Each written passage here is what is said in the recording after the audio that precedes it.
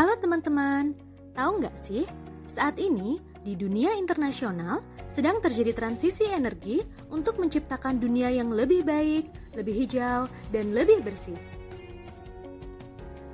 Selama ini, energi kita sangat tergantung pada energi fosil. Seperti minyak, batu bara, yang menghasilkan tingkat polusi yang tinggi. Maka dari itu, banyak negara maju yang beralih menggunakan EBT atau energi baru terbarukan.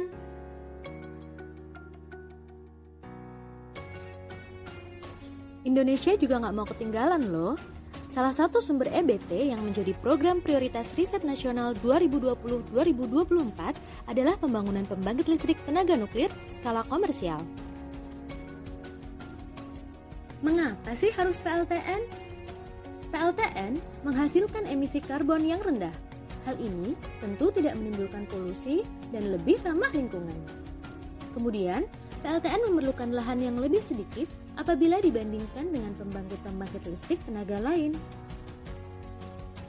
Dengan bahan bakar yang sedikit, PLTN mampu menghasilkan energi listrik yang sangat besar.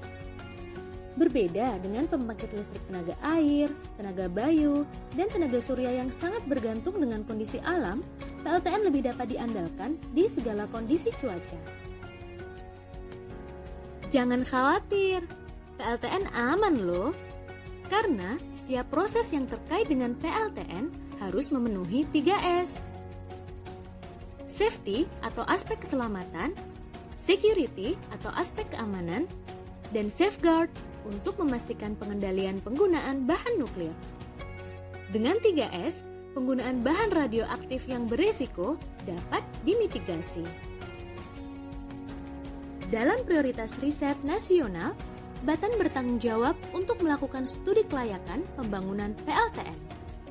Nantinya, hasil riset tersebut akan menjadi bahan pertimbangan untuk pengambilan keputusan para pemangku kepentingan. Sebenarnya, Indonesia sudah melakukan berbagai persiapan loh.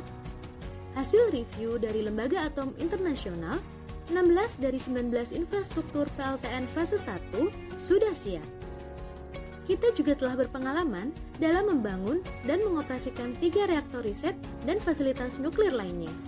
Telah tersedia beberapa peraturan yang mendukung pembangunan PLTN. Indonesia juga telah menguasai teknologi kenukliran yang didukung oleh SDM-SDM lulusan terbaik dari perguruan tinggi. Sejauh ini, Batan telah melakukan survei dan studi kelayakan tapak di berbagai lokasi. Lalu menurut kalian, di mana sih lokasi yang tepat untuk pembangunan PLTN? Saat ini, Batan sedang melakukan studi kelayakan di Provinsi Kalimantan Barat. Pemilihan lokasi ini didasarkan pada beberapa aspek. Kondisi geologis yang stabil menjadikan Kalimantan Barat relatif aman dari gempa.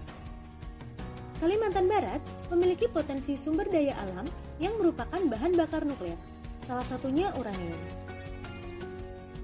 Selain uranium, Kalimantan Barat juga memiliki potensi sumber daya alam mineral yang melimpah yang dapat menarik investasi. Sayangnya, hingga saat ini, Kalimantan Barat masih mengalami masalah keterbatasan suplai listrik, sehingga menghambat pembangunan industri dan pertumbuhan ekonomi. Dengan adanya pembangunan PLTN di Kalimantan Barat, suplai listrik untuk kebutuhan industri menjadi lebih stabil, sehingga mengurangi ketergantungan listrik impor. Selanjutnya, juga dapat mendorong potensi pertumbuhan ekonomi karena ketersediaan suplai listrik akan menarik investasi pembangunan industri di Kalimantan Barat. Tentunya, hal ini akan menyerap banyak tenaga kerja. Dan secara nasional, akan mendukung pengembangan riset energi dan mendukung pertumbuhan ekonomi. Ayo dukung Batan untuk menghadirkan energi nuklir yang selamat untuk Indonesia berdaya saing dan sejahtera.